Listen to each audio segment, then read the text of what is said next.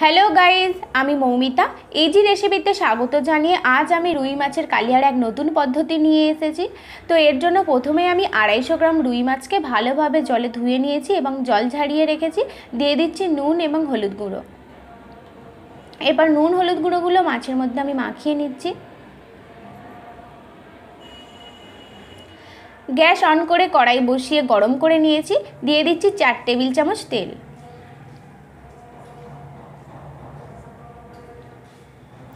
তেল গরম হয়ে গেলে মাছগুলো আমি একটা একটা করে ছেড়ে দিচ্ছি।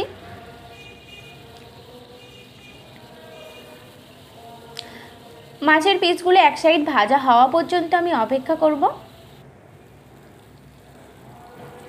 একটা সাইড ভাজা হয়ে গেলে আমি উল্টে নিচ্ছি, অপর সাইডটা একইভাবে ভেজে নেব।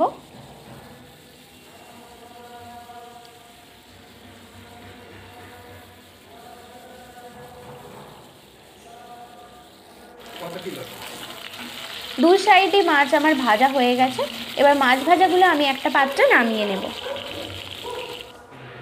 কড়াই দু টেবিল চামচ মতো তেল রয়েছে, তো আমি এই তেলেই রান্না করব। দিয়ে দিচ্ছি দুটো কাঁচা লঙ্কা।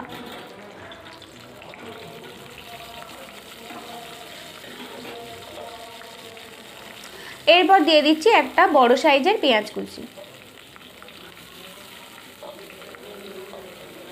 পেঁয়াজগুলো তেলের মধ্যে ভালোভাবে মিশিয়ে নিয়ে আমি ভেজে নেব।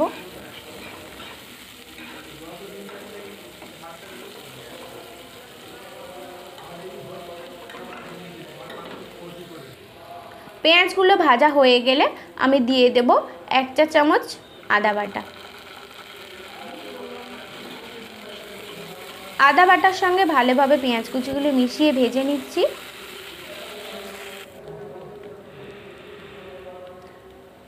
এরপর দিয়ে দিচ্ছি এক চা চামচ টমেটো সস। আপনারা এখানে টমেটো সসের পরিবর্তে টমেটো ইউজ করতে পারেন।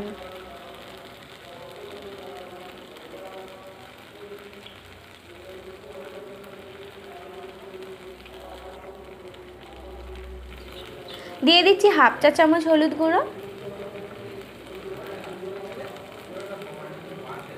হাফ চা চামচ লঙ্কা গুঁড়ো। আপনারা ঝালটা আপনাদের পরিমাণ মতো দেবেন।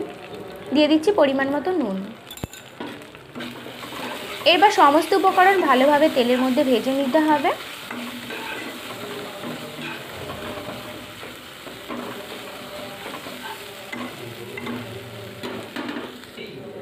মশলা কষা হয়ে এলে আমি দিয়ে দিচ্ছি আর একটু জল, যাতে পেঁয়াজগুলো সেদ্ধ হয়ে যায়।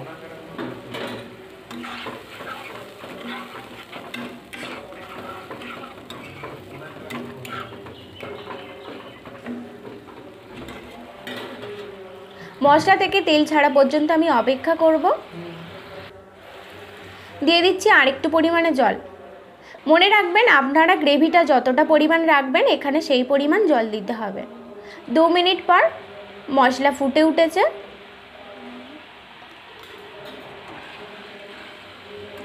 এরপর আমি দিয়ে দেব দু চামচ সর্ষে বাটা। সর্ষে বাটা দেওয়ার পর আমি ভেজে রাখা মাছগুলো গ্রেভির মধ্যে তুলে দেব।